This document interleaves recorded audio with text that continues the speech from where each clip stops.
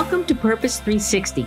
I'm Carol Cone. And I'm Chris Noble. And we're on a journey to explore the brightest and most innovative minds and initiatives in social purpose. Today, companies and brands must stand for something meaningful. They have to have a social purpose and bring that purpose forward to their employees, their customers, and their community. Each episode, we're talking to leaders at Fortune 100 companies, global brands, social enterprise startups, NGOs, and everything in between. We'll be taking a deep dive to learn how they are integrating purpose into their organizations to benefit both business and society for enduring impact.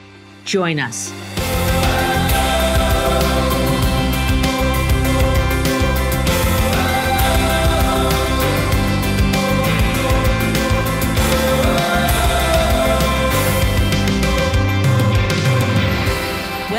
Purpose 360.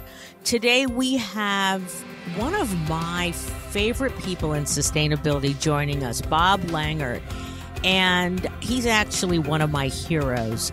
I remember, oh, a number of years ago that we shared a panel at Sustainable Brands, and I looked across the table in awe because here's someone who has made such an impact through his over 25 years at McDonald's. He retired in 2015 as vice president of CSR and sustainability but he is still fighting the great fight. He's got a new book that just came out. We're going to talk a little bit about that the battle to do good inside McDonald's sustainability journey. But Bob talks about stand tall for what you stand for. And so we're going to really hear great insights from him today. So let's get started. Welcome to our show. Well, thanks for those remarks. Glad to be with you. they're they're very well deserved. I'm hoping someday, Bob, I'll be one of her heroes too. well, we're working on it. So, Bob, let's start out with what is your personal purpose? Well, simply put, you know, I, have always thought I want to make a difference in the world. Started out as a kid in the '60s. I still think I'm a product of the, the '60s of trying to part of that social revolution. But uh, at a deeper level, you know, something happened to me in 1990, and where my brother was killed, his wife was killed, their unborn child was killed, and this was. I'm sorry to hear that. I, I only say that because you asked what my purpose is, and what happened at that time mm. through this horrible thing was. Uh, it was right when I was beginning to do all this work for McDonald's. It was right at the very beginning of my career in social responsibility. And I, I had decided, you know what? Hey, my life could end tomorrow. Uh, I thought I was a little bit too complacent in things I was doing. I had this opportunity that was bubbling up at McDonald's, and I right then and there I said, you know what, I'm going to do as much good as I can and do as much to combat evil as I can you talked about social responsibility and also the term sustainability. And there's a lot of terms. I mean, when I started doing the work in the early 80s, it was cause marketing, then cause branding, shared value. So, what's your definition of sustainability today? Well, today in the corporate setting, you know, first of all, I would start out as very holistic. You know, a lot of people look at sustainability through a very narrow vision. So it's very holistic, you know, meaning for a company like McDonald's, it's it's all your societal impacts. It's it's your people, it's your food, it's your nutrition, it's the, it's the health, it's the environment, it's the treatment of animals, it's the economy, uh, it's every touch point for society. So that's where it starts for a definition. But I think for it to truly be, uh, I'd also like to define it as a mindset.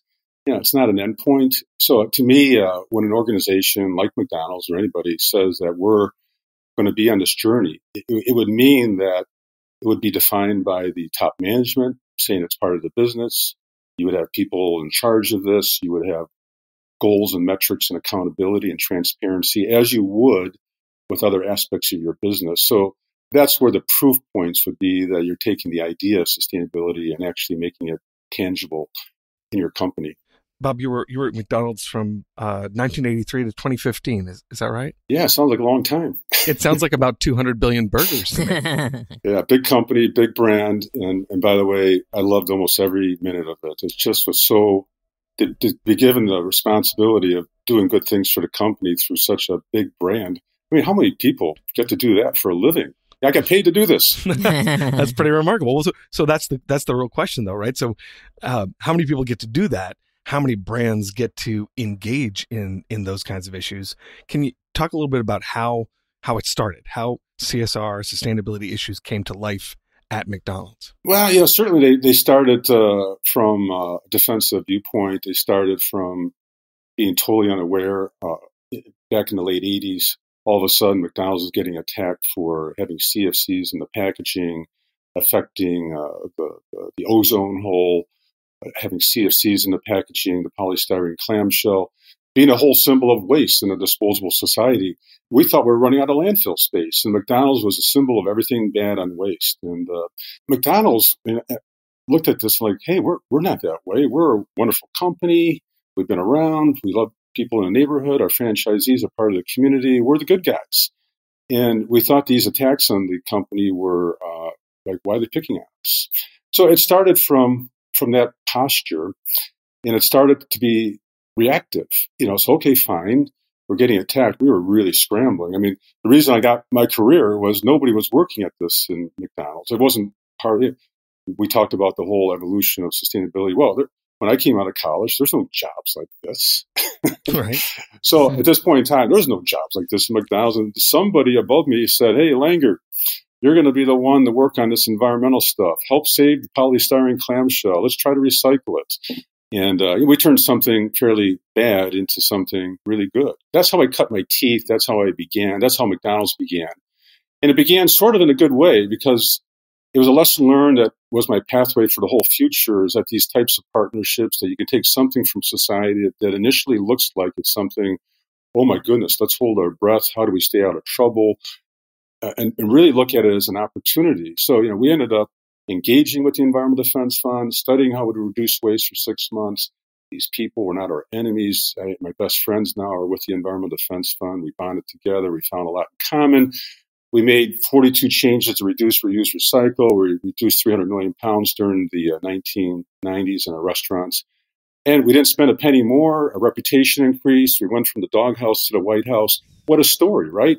I mean, so once you begin that way, you see you know, this is what I try to do for my whole career, kind of get these win-win-win situations, which is not always that easy to do, but that's that's how we began and I would say at least the first 10, 15 years of working on all these things.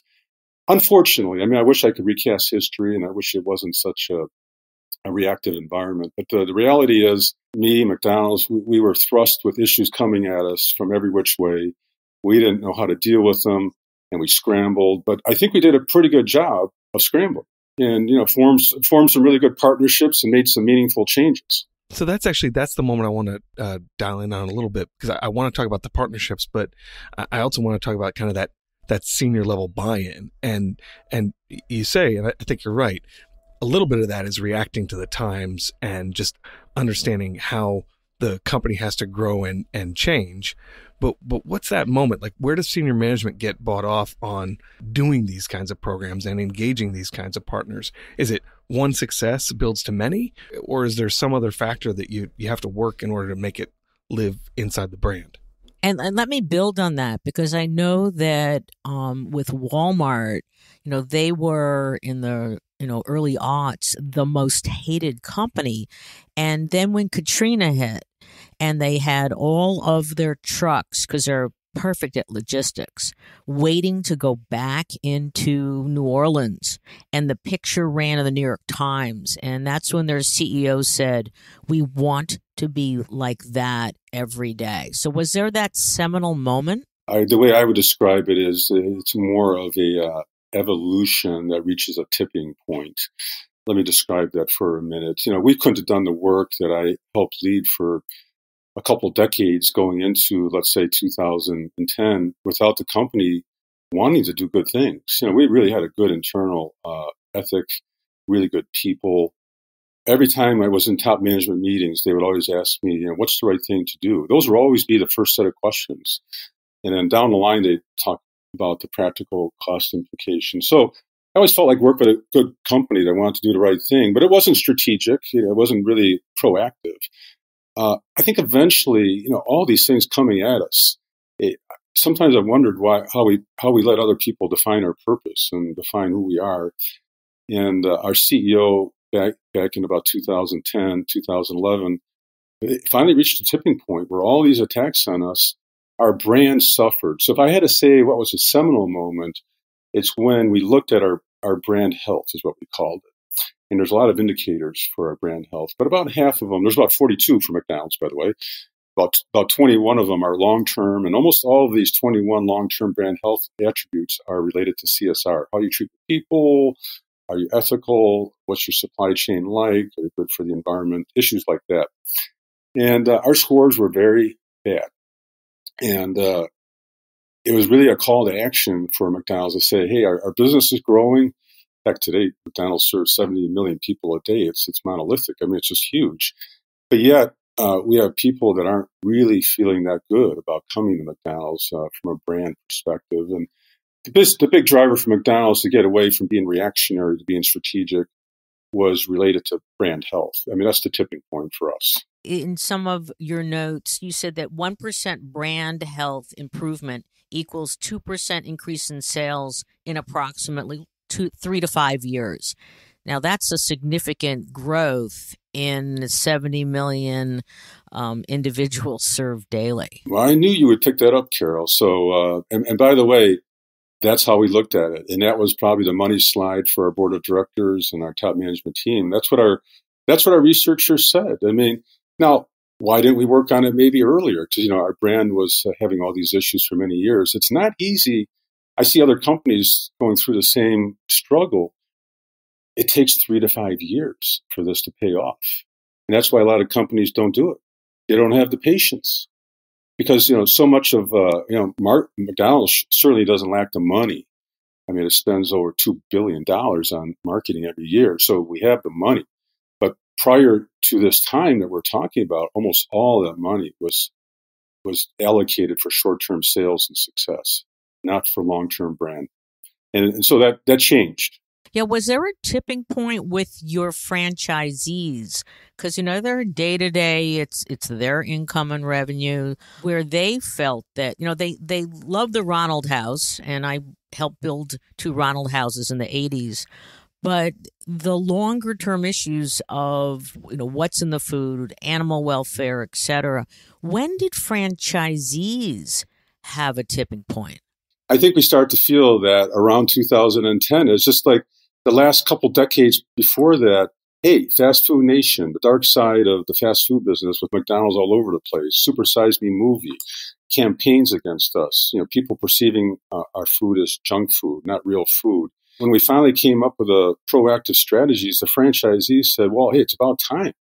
You know, that's what we pay you. You know, that's what we pay you as a company to defend our brand. And let's stand, let's take a stand versus being defensive and being reactive to everybody else defining who we are. So yes, a lot of, a lot of support from the franchisees because they're in the front lines and they hear these types of complaints from their customers. We always get to talk to somebody who ha- was around when traditional PR and CSR were trying to work together to to create that kind of that brand halo, that brand effect, right? A- along with doing the actual good work. And then all of a sudden social media hits or the internet and, and tons of review sites hits. So how do you how do you manage through that change? Uh, we've got a lot of brands that listen that are are still trying to deal with the change from traditional PR into into our current world. Well, my critique in today's world that uh, I, I feel that this is one of the one of the companies companies in general are very poor at understanding how to market and communicate on sustainability. You just don't get it. They're still they're still mostly afraid of it. Carol, I know you live and breathe in a space. I'm not sure if you agree or disagree, but you know when you get out there and you stick your neck out, you're not a perfect company, and usually what happens is you're going to get taxed somewhere else, and the lawyers get involved. The, they like to play it safe. The communicators, believe it or not, like to play it safe. I still am astounded by all these problems that occur in companies and the CEOs make statements and they sound like they're inhuman people saying things that are corporate speak, like they don't come from human beings. So uh, I think it's a big problem. And uh, certainly at McDonald's, we struggled that, with that over the years. I, I tell in the book about how uh, I know when the birth of the internet came about because it was 1995. and right. and uh, I tell a story where this McSpotlights you know, I don't want your listeners maybe to Google McSpotlight, but if you do, I mean, it, it was an ugly campaign, but it was the first, I think it was the very first global internet campaign against McDonald's. And it all started with these two people from the United Kingdom, you know, passing out literature that the defamed McDonald's. We did a three year lawsuit. So I tell the story in there. And uh, we didn't know how to deal with this thing. And I think companies today are still struggling because the issue is how do you be open and transparent in this open and transparent world? And most companies still haven't taken that big step. And in order for people to believe you, in order to be sustainable, you have to be in this space of being open. That means you tell what's good and you tell what's not working. Yeah, I think that's a really good lesson for the for our crowd is just that sustainability and authenticity go hand in hand, right? You can't really have one unless you're exhibiting the other. Let's now turn to partnerships because so much of your work over the years have been creating them, nurturing them, um, love to hear about one or two stories. I love the Temple Grandin story, so perhaps you'd share that. And then insights to really making partnerships work. You can't be sustainable in, in most cases unless you partner. So you just have to partner because you have to go somewhere else for expertise. You have to go somewhere else for credibility, collaboration. You know, I was given the task, you talk about Temple Grandin. We identified her as the person that could help us be implement an animal welfare program with our suppliers. So my boss told me, Shelby said, Hey, Bob, go figure out how to do an animal welfare program and please connect up with Shelby and figure things out. Well, this Temple, I mean, she's autistic. You have to understand that. She's uh, brilliant and she's very charismatic. And uh, within the meat industry, she's considered to be a, like a rock and roll star. When she, so when I went into our first meeting at Lopez Foods in Oklahoma City, there was like hundreds of people in the hallways you know, from the rafters, kind of trying to see her. And then she gave a talk, and uh, she was very inspirational for our meat suppliers. It didn't take too much work to get them on board to say, hey, we're going to integrate animal welfare, do everything that Temple's asking you to do. And uh, she did her thing. And uh, she was just smart. I mean, we go to these slaughterhouses. She'd be on her hands and knees and trying to, you know, figure out how the animal thinks and acts. And I'm like, holy moly! And, uh, you know, here I am in charge of animal welfare. I grew up on the south side of Chicago. That's why you need partnerships. Nobody at McDonald's knows how to implement an animal welfare program. We implemented all this work in the late 90s, early 2000s, such that now if you were to go to a slaughterhouse, rather than like today, you would go, it's like going to a library. The animals kind of naturally flow through, etc. Everybody's at peace. When I went to my first slaughterhouse in 1998 with Temple, the, all the animals were getting zapped with uh, electronic zapper. That's how they moved animals. Zap them, zap them, zap them. Again, I'm not a scientist, but I think something's wrong here. And Temple said that, yeah, we don't need to be zapping. We need to create flags and design to have the, the animals move naturally. So Temple was my absolute favorite person to work for. I came up with these, uh, these three P's that I learned from her. She had passion. She had persistence and she had patience. If you think about that for a few seconds, she did all those things at the same time, which is sort of schizophrenic. But I always view that, that that's how I would be. She never gave up. She would be insulted. She would be, uh, have defeat. And the next day she's up doing it again, trying to move things forward. And she had such passion for the animals. She didn't uh, have a political bone in her body she couldn't filter things. So I always thought, hey, I'm apolitical. I mean, I always, my mission at McDonald's was I don't take sides. It's not about personality. I'm going to be a, a champion for what is right. I'm going to be apolitical. That's, that was my mission. And, uh, but then I realized I'm not like Temple. I mean, she just has no filter at all. It just comes out. So everything she does, you know, is true blue. And by the way, this work was not only for McDonald's, it's for the entire meat industry. It all transformed that all meat suppliers do it around the globe. So when you realize that you are part of something that changes something across the whole sector, across the globe, and you couldn't have done it without a Temple Grandin. Uh, one person can make a difference. And I think I've read in some of your interviews that you've stated that nothing is more rewarding than working on transformative change. So that's a, a tremendous um, insight, and it, it seems like it's part of your soul. Oh, yeah. You shouldn't, uh, like in today's world, I mean, every day I went into work, I usually thought of just one or two things. I'm going, you know, sustainable beef became a big thing. And so we wanted to, so I would come into work every day thinking, okay, I'm going to work on these 10 things related to sustainable beef to move the needle. I'm not going to do anything else until I've, I've exhausted everything to move, because that's the big thing we can do. I mean, on your list of things to do, I think social media, all the emails that people get, et cetera, et cetera, these are so destructive to uh, leaders that want to be effective because they clutter everything up. So you really have to sort of like be, be like Temple. You have to be almost like single minded because you only have so much time to be a leader and you should make transformative change and transformative change takes a lot of effort.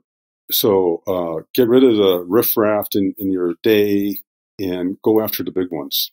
It's it's not just those three P's. It's also focus, and and the real question for me is how do you not maintain that focus for yourself? It, it's definitely harder these days with constant notification and bombardment. But organizationally, how do you maintain that focus? How do you, like, what proof points do you have to keep bringing back? What metrics do you need to be using so that you can lead and guide the whole organization forward? Well, it, it, goes back to having a strategy and a framework, and uh, it was interesting when we finally got to do this. You know, McDonald's, we first we released our first framework with goals and metrics and accountability in 2014. So imagine this journey we're talking about. It took a long time, 24, 25 years to go from reactive to finally being strategic, getting it embedded, and I've seen what McDonald's has done since. I mean, it's it's awesome. But that's where you do it, Chris. To answer your question. Uh, because you're not sustainable unless it's run through your management team to say, hey, these are the things that we're truly going to focus on. I remember when we started our framework, we came in, we had five pillars with 28 goals. And uh, I was kicked out of the room. And uh, they, they said, that's just, that is so unreasonable to think that we as a global company are going to focus on 28 things to do. So, you know, that was very humbling and uh, for our team. So, you know, we went back to the drawing board. We eventually had five pillars and nine goals. And by the way, the language that I use, and I still think it's great language for today, and this is advice that I have for your listeners trying to forge change. I just, I really love the shared value language. It was just so good to work within McDonald's to say that, hey, you know, we're only going to work on things that help grow our business and make a, a big impact on society. So let's let's go through what we can do. And we every meeting it would be, well, hey, that's not gonna, you know, that's not gonna do any good for our business. I go, okay, fine, I agree with you. Let's put it by the side. Maybe a few years from now, it's good for our business. But you will find things that are good for business and are good for society at the, at the most impactful levels, and those are the things you should choose. The first time ever, I was given, uh, I was given uh, Don Thompson, our CEO, said, "I want to spend a half day with our with our top 40 leaders on sustainability. Bob, do whatever you want. You have the whole floor for four hours." And by the way, this is a two day meeting, so it's a big chunk of time. This is my oppor- this is my opportunity. This is how am I going to do it? So I learned from Coca Cola. Hats off to Bea Perez. I love you. she had invited she had invited me into a meeting at Coke to their top management team with a, a bunch of other leaders that were from companies and NGOs, and I loved it. And we, we were asked all the tough questions. We gave their top leadership a lot of great insight. And so when I came back to McDonald's, I said, you know what, I'm going to do this. So I, I, brought in some very top NGO. I, I, brought in the head of the World Wildlife Fund. I brought in the head of uh, Greenpeace. I brought in the, the head of Unilever and Walmart and so on. And, and by the way, when they were asked at this first look was called first look meeting, when they were asked by an independent moderator, because we wanted to be very independent and provocative. this was not corporate friendly. This was like, let's really get into it the independent moderator asked the all eight of the leaders in two different sessions, if you were CEO for a day, what one thing would you do? Seven of the eight said, Hey, your your brand is about beef. You should do something to make beef more sustainable. And that was the tipping point for our management team to, to realize that in the hallways afterwards, the number two guy in the company, which I, I, thought he'd be the last one to embrace this idea, he was pretty sarcastic about the whole idea beforehand. He goes to me, you know, wow, this sustainable beef thing, we should be doing this. oh, I mean, I realized how effective that session was. And really, that was, I really felt there's a whole bunch of people working on sustainable. When McDonald's announced sustainable beef as a goal in 2014 that we're going to start buying it in the future, we didn't even have a definition of it. We didn't even understand it. And, and so for a conservative company like McDonald's to, to do that, I go, wow, how far we have come. So, so you're really living the mantra, which is, you know, it doesn't have to be perfection. Just keep it moving along. Well, I, I, I wish there's more. I wish there's more more of an attitude like that. As a matter of fact, you know, within the sustainability crowd that I travel in, a lot of people view what you just said as incrementalism, and they kind of criticize it. Uh, but I don't know where you get unless you you know keep moving forward, perhaps a little bit at a time. A little bit at a time adds up to a lot of a lot of things over time, and uh, and you're not going to get a lot of companies on board. I mean, let's face it, you know, a lot of the big companies are, are embracing this, and that's wonderful. But if you really look at all the companies in the world down to the mid-sized and small companies, we still have a long way to go. We can't be making sustainability an intimidating thing.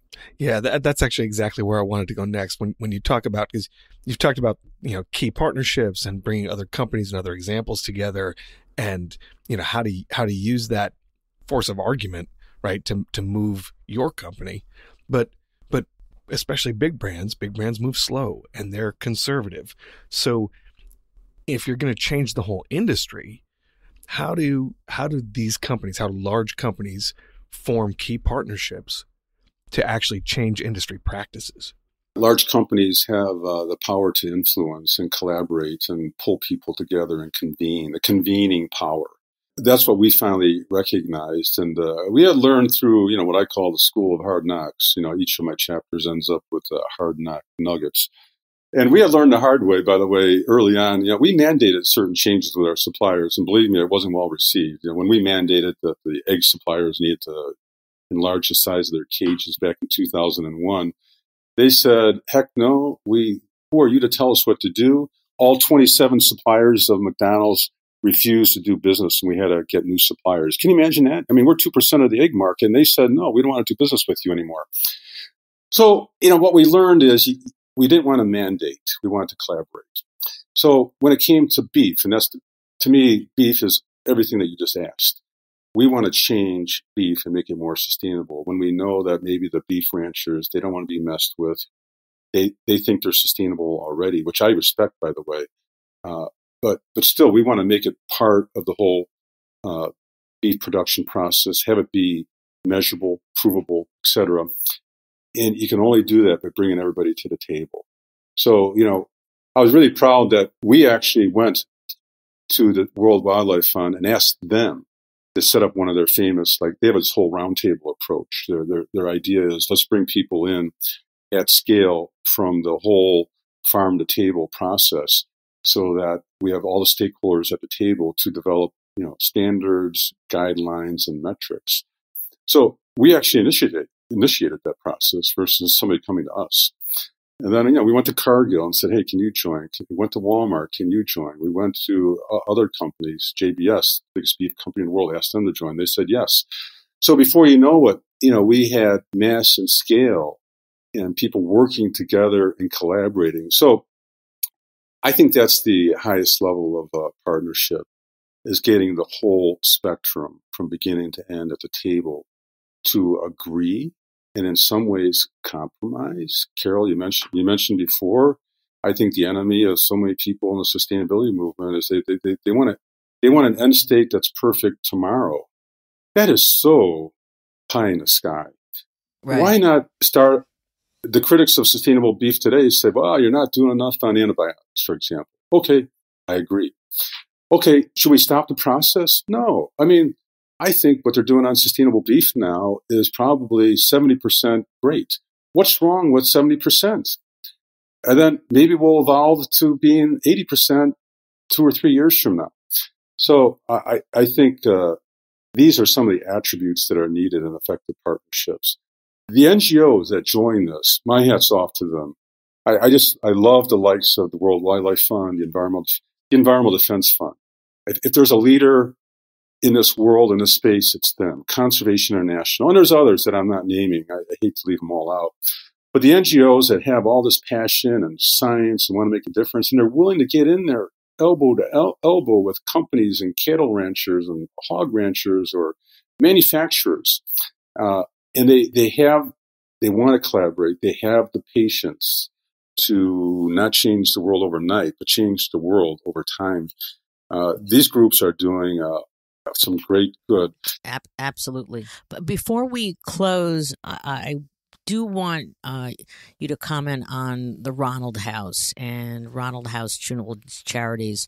In the 80s, uh, that work from McDonald's and their uh, owner operators, because it was so local, uh, was had a profound impact on families, um, certainly on the company's reputation.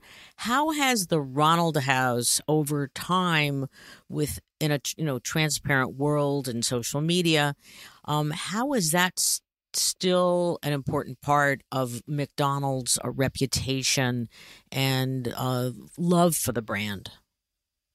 People that work for McDonald's, like me, you know, we just think Ronald McDonald's charity is, is so wonderful.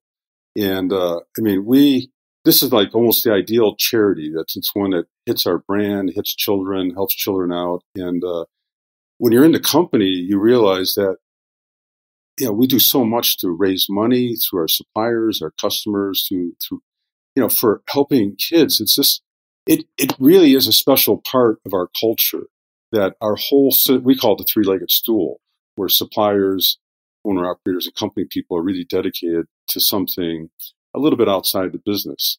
Just to share a little funny story on this, because a lot of the sustainability people, I think, are a little bit cynical uh, about these maybe their philanthropic efforts, right?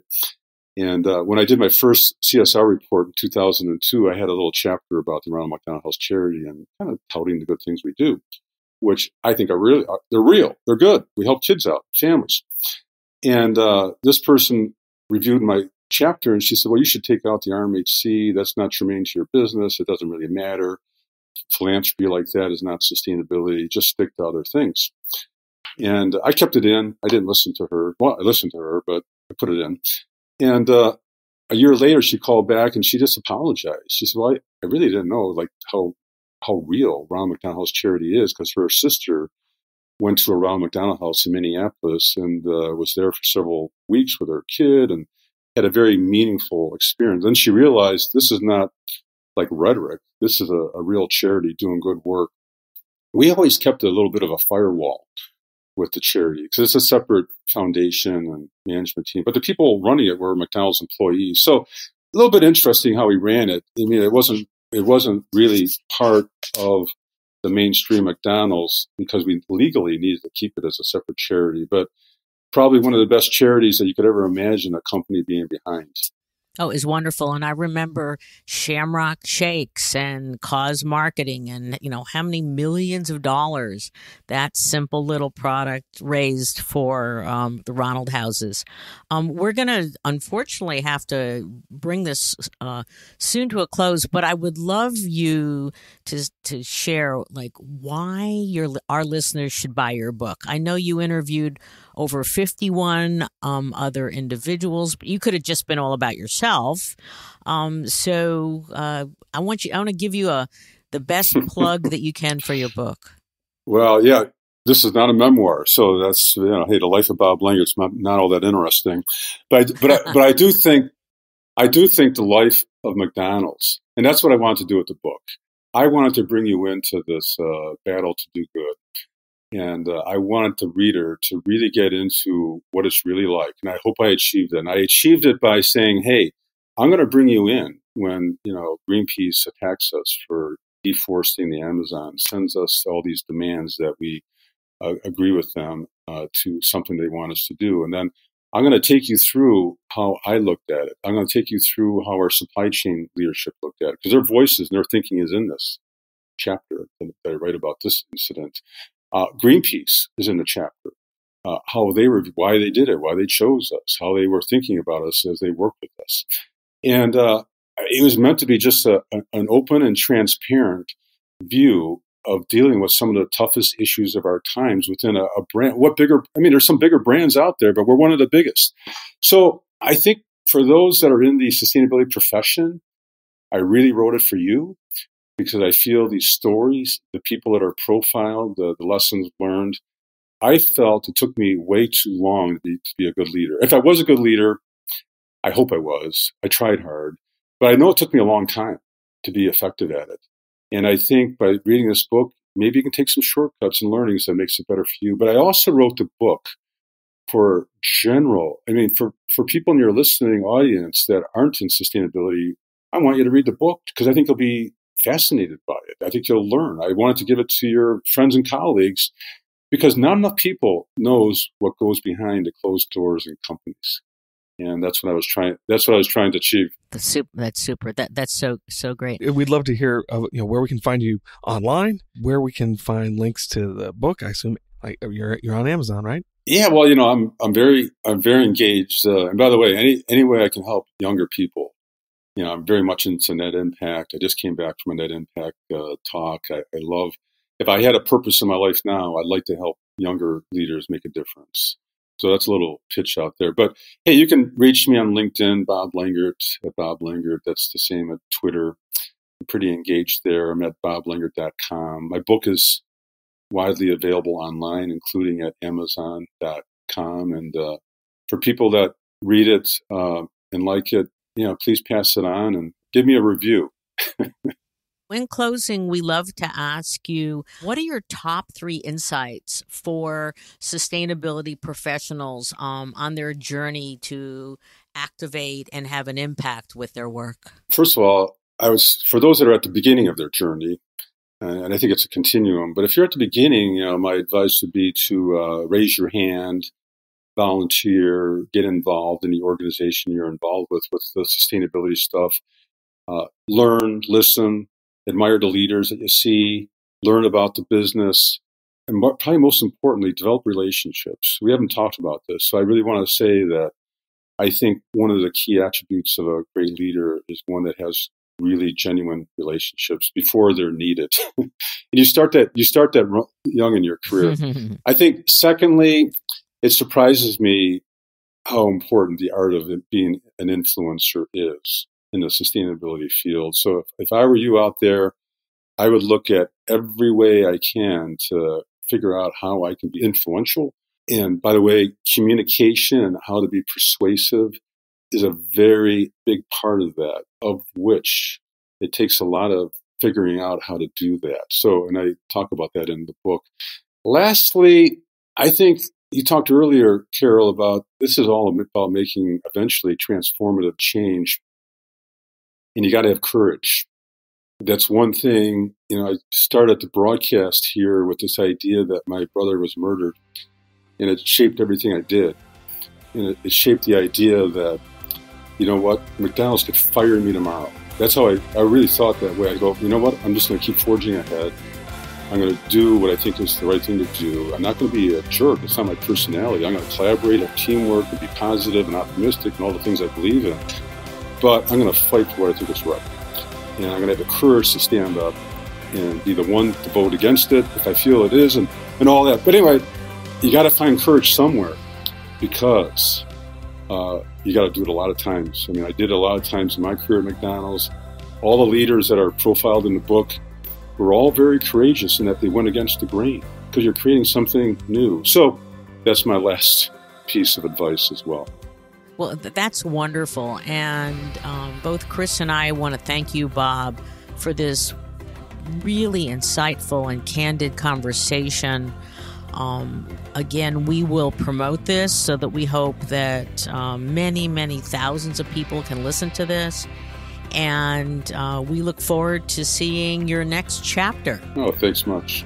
And I want to close today and asking our listeners what is your purpose?